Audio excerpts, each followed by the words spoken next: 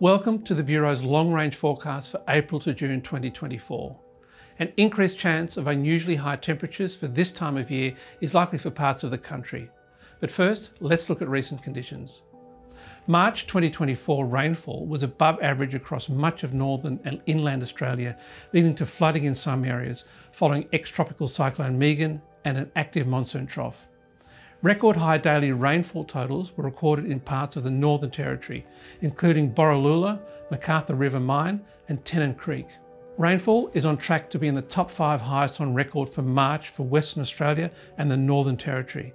In contrast, parts of the south had below average rainfall, with rainfall in Victoria on track to be in the 10 lowest on record for March.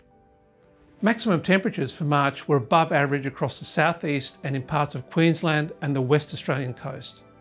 Due to persistent cloud and rainfall, maximum temperatures were below average in large parts of Western Australia and the Northern Territory. Minimum temperatures for March are on track to be in the top three warmest on record. Queensland and South Australia are on track to have their warmest March minimum temperatures since records began in 1910. Soil moisture this month has been above average across large areas of the north and west, but below average in the southeast, especially in Tasmania. Australia's total water storages are around 79% full. Storages in the Victorian southeast coast, Murray-Darling Basin and southwest coast are around 10% lower than at the same time last year. Let's look at the long range forecast for April to June. There is roughly an equal chance of above and below median rainfall in most of Queensland, northern and eastern New South Wales, southern Tasmania and parts of the west. The rest of Australia has an increased chance of below median rainfall. However, the chances of unusually low rainfall is below 50% for all areas except the northwest. Near median to high stream flows are likely for most forecast locations between March and May.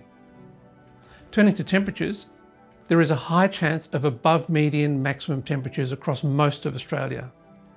We're heading into the cooler months, but the forecast shows an increased chance of unusually high maximum temperatures, particularly in Western Australia, which also has an increased chance of unusually high minimum temperatures. Tasmania and areas of the east coast are also forecast to have unusually high minimum temperatures for this time of year. Let's look at some of the recent influences on our climate. Global sea surface temperatures remain high, with March 2024 on track to be the warmest March on record. Closer to home, sea surface temperatures off the east coast of Australia, from the Coral to the Tasman Seas, are warmer than average. They are forecast to remain above average from April to June. El Nino is near its end. We expect conditions to return to neutral in the Pacific Ocean later in autumn. Follow the long range forecast on the Bureau's website. We update this forecast regularly and the forecast changes as it gets closer to the coming months. You can also select your location on the maps to see more details for your area. In summary, the April to June forecast shows roughly an equal chance of above and below median rainfall in parts of New South Wales, Queensland, Tasmania and Western Australia, below median rainfall likely elsewhere an increased chance of unusually high temperatures for this time of year, near median to high stream flows likely at most locations. You can find out more about the long range forecast on the Bureau's website. We'll see you next time.